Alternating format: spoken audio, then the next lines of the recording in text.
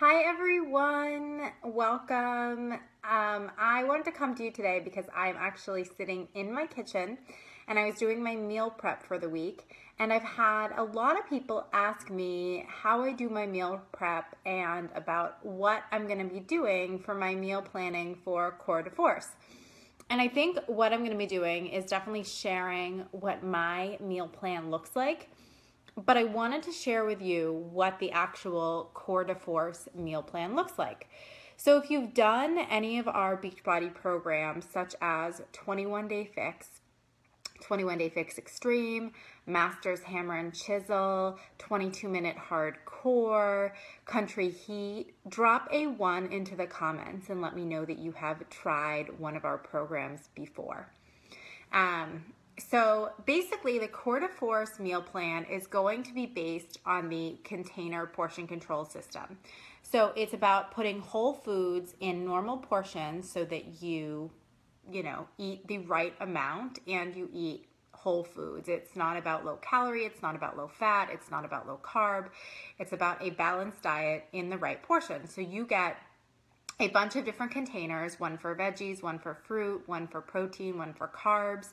Um, you can have bread, okay? Bread, rice, pasta. It is allowed in normal size portions. One for healthy fats, which is like avocado, cheese, hummus, and then one for things like dressing, seeds, oils, and nuts. So this is what they look like. This is my green container for my veggies.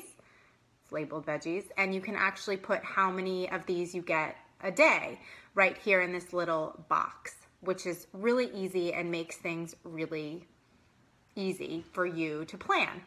So what you can do is you can either like if you're making a big salad, you can kind of like scoop a bunch of veggies into the salad using this. Or you can fill this with carrots and grab and go because it has a cover and is like a normal Tupperware. And this is my fruit one.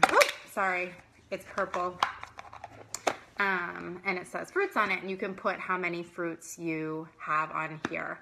Um, and it's super easy. So those are the two I have sitting here but I obviously have all of the containers. So the Core de Force meal plan is going to be based off these containers.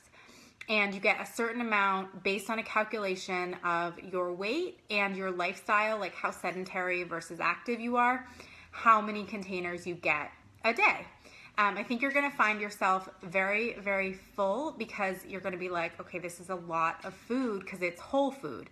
Um, we don't do, even if it's low calorie, things like diet soda, um, really processed foods. It's just not about that. It's about whole, regular foods.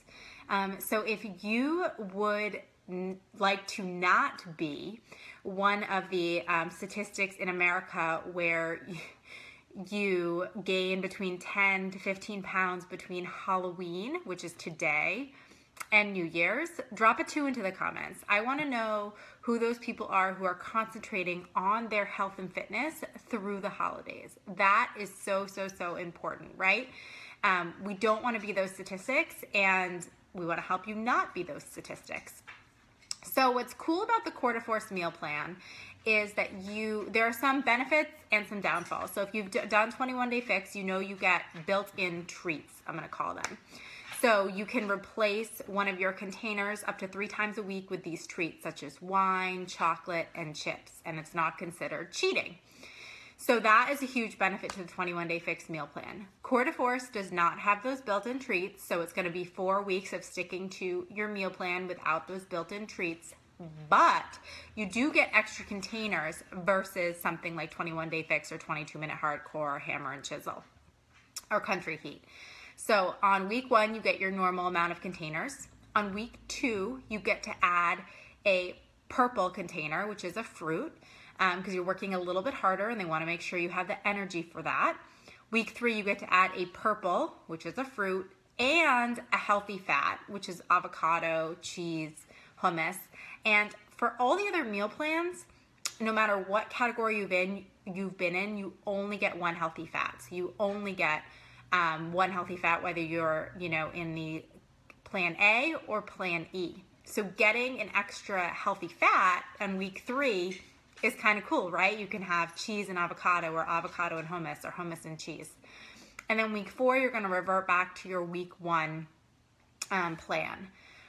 They're recommending that you do not go over your carbohydrate, which is your yellow containers, um, because you have enough um, sugar and carbohydrate in your fruit. You you are going to get carbohydrates in yellow containers, and like I said, you can have pasta or bread um, in those containers. That is allowed um, in normal portions. But if you are hungry, you will want to add extra veggie containers. I'm gonna, I hear from most people, oh my God, this is so much food, I can't even finish it.